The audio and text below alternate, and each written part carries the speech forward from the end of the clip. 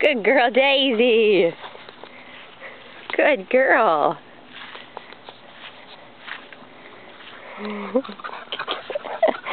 You're so goofy.